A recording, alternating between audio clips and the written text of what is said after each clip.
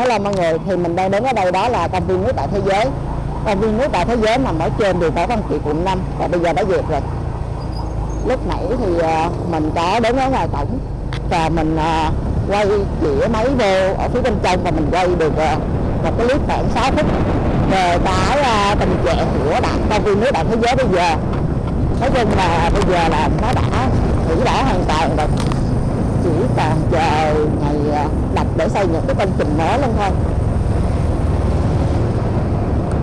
Thật sự ra thì ờ, biết là theo thời gian thì mọi thứ nó sẽ bị phá vỡ, nó sẽ thay đổi thôi. Nhưng mà thật sự ra thì cũng rất là buồn. Mặc dù cái công viên nước tại thế giới đó không phải là của ờ, mình, và mình cũng không có liên quan tới chỗ đó nữa. Nhưng mà đó là một phần và những cái kỷ niệm tuổi thơ của mình ngày xưa thì mình đã ở đó chơi tắm hồi năm cấp một thì mình cũng đi được hai ba lần.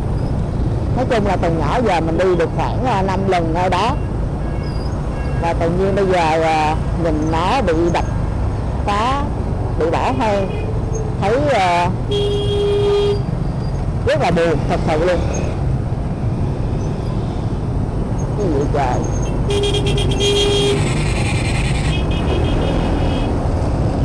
Rất là buồn.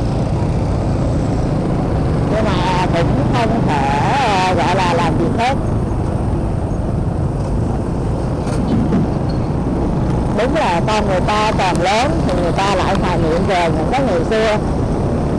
Và được ờ, chứng kiến phải chứng kiến một cái nơi mà đã gắn liền với tuổi thơ của mình, nó không còn nữa thật sự là một cái trải nghiệm không có gì gọi là vui vẻ đó. Mà ngược lại buồn là hết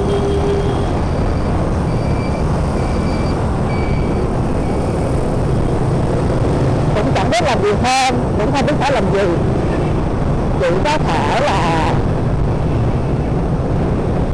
nhìn nó trong cái sự tiếc nuối thôi.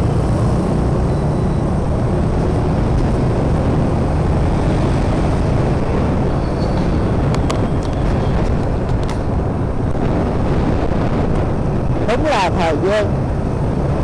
Có thể đưa một người lên cao, nhưng đồng thời lại đẩy vô số người khác xuống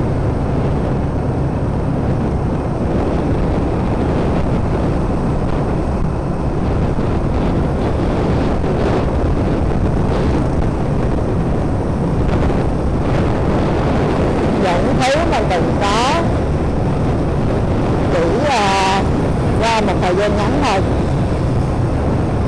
thì uh, mất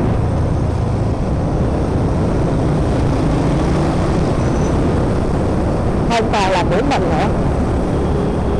Không còn hiện hữu trên đời nữa, hoặc là không còn là sở hữu của mình nữa, thì nó cũng đều ở đây như nhau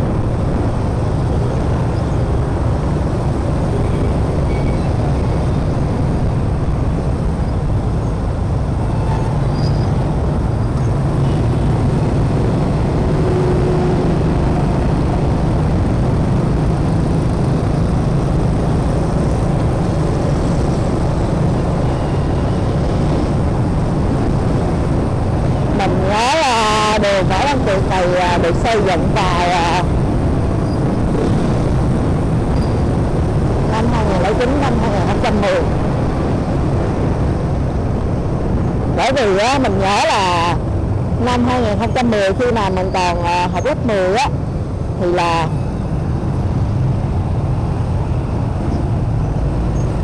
đoạn đường này vẫn còn đang xây dựng và rất là nhiều đất đá lâu cốt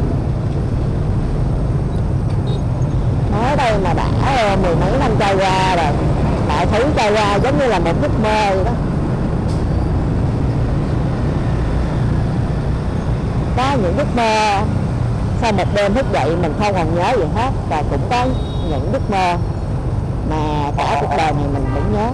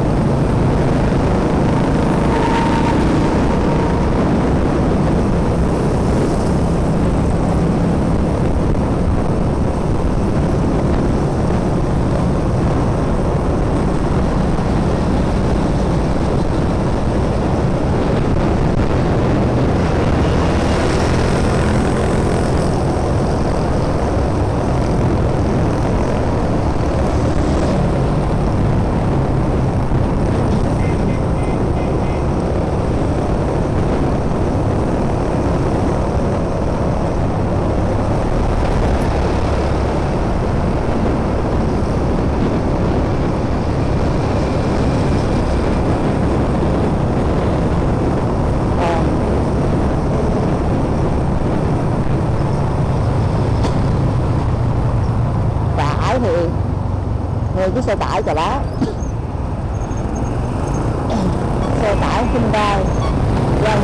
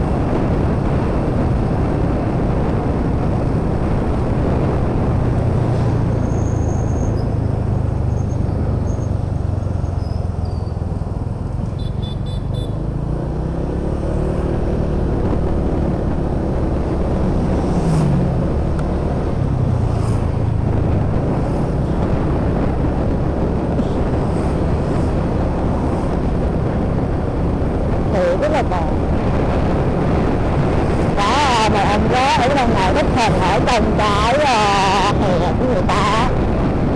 Có nghĩa là thế đó bên ngoài đợi khách với lại phần uh, ờ, ngồi chiêm nghiệm lại cuộc đời. Chúng ta là như vậy. Bởi vì uh, mình cũng có một thời gian mình chạy quá rồi những khi mà ở thì uh, mình ngồi mình chiêm nghiệm lại cuộc đời. Đó là ông là đó cái số.